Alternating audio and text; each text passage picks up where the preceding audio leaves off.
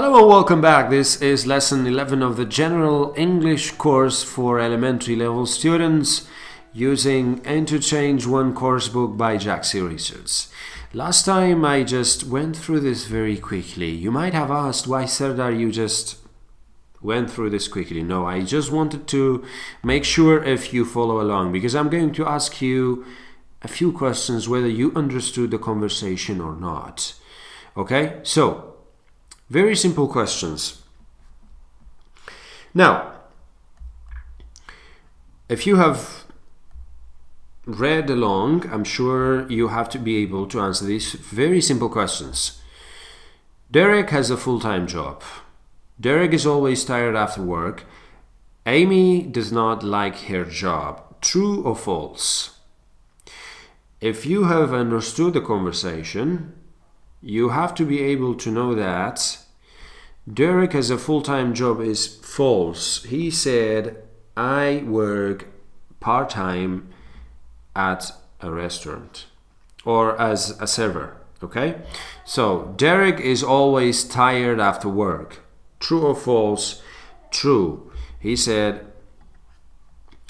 uh, it's okay. I'm, I'm on my feet all day, so I'm always tired. Okay, so he is always tired. Uh, correct. Amy does not like her job. True or false? False. She thinks her job is great, in fact. Okay? Yeah, it's great. I work with incredible people. So that was just like a double check with you. Like, I just wanted to see if you actually follow my course or not. So now, today we're going to uh, study exercise 5 which is grammar focus and it's all about simple present WH questions and statements okay? Statements and WH questions okay? So WH questions are those questions that start with these WH words okay? What where maybe how and other question words, okay? And statements are those sentences that start with a subject and then uh, a verb maybe and then a complement, okay? So basically, uh, now I want you just to close your book or maybe do not look at the PDF if you have it in front of you right now. Uh, I'm going to ask you uh, these very simple questions. That was just a uh, by the way, you can also try this out if you wish to do the conversation and practice. So now, um, I have these statements. I work part-time as a server. I work at Stella's Cafe downtown. I'm on my feet all day, so I'm always tired. If you were with me, like previously, basically in uh, lesson 10, you can simply tell that this is Derek who said these statements. I work part time as a server. I work at Stella's Cafe. So, what if I ask you to change this with third person pronouns such as he or she? Okay? So, mm, since these are present simple statements, once you change I, he, uh, sorry, I, we, you, they to he and she or, or it, you have to change the verb into this form. Basically, you add third person singular s to the verb. Okay? That was just a quick intro. That was just a quick intro. Now, if you look at these uh, statements and questions, you find out that the for like the structure is very very simple. It starts with uh, like statements. We're, we're going to start with the statements. It starts with a subject which may be a pronoun or a name and then a verb and then a complement okay? What about the questions? It starts like ws questions.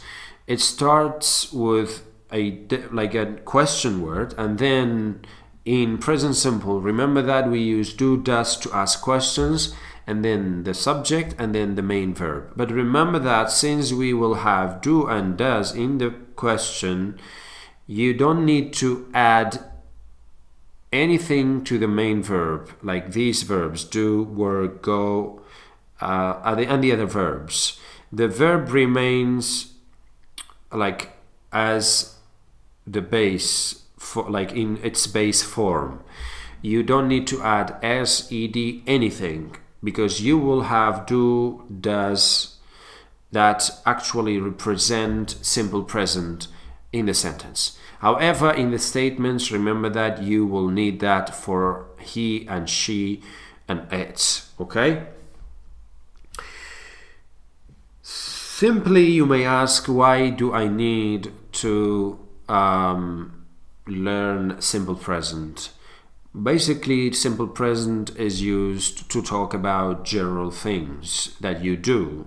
So here we use simple present. We do not use simple present for maybe uh, something that we are doing it right now. Maybe something that has been done in the past and, uh, and that the job is like uh, has already been completed. Okay, so for general things, maybe the things that we do them regularly all the time, we use simple present for these kind of situations. So uh, now we're going to move to the next part so that I can show like show you how is exactly the structure of present simple questions. You start with a WH and then do does okay do does uh, and do you know that do is used with you I we they However, does is used with he, she, it. So, or maybe a name. You know, a name is actually refers to uh, maybe he or she. So it's always does. And then we have the subject, you, you, you, you, uh, sorry, maybe a name, and then a verb, work, do, um, I'm sorry, uh, like and travel. So this is the structure. When you ask about what do you do, this is exactly the title of Unit 2. You have to remember that uh, you, you have to use do and then uh, the verb remains in its base form and then the reply would be very simple. If I'm sorry uh, if we for example reply what do you do? the answer might be I work part-time as a server. Or you can simply reply using um, verb to be like I'm a student I am a teacher okay? Like that. You continue this way and then you will be able to talk more clearly here we have a better way to understand what to do when we have I, you and he, she. So remember that the verbs will remain in their base form when you use pronouns such as I or you, we, they.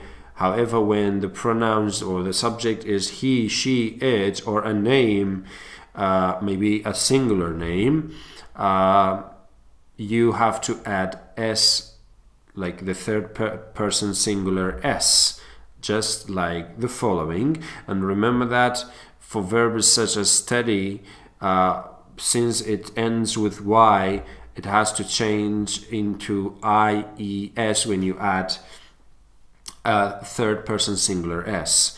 And remember that verbs such as teach, since it ends with the, like this sound ch, you have to add es rather than just s. Uh, other verbs like these, these are like irregular verbs.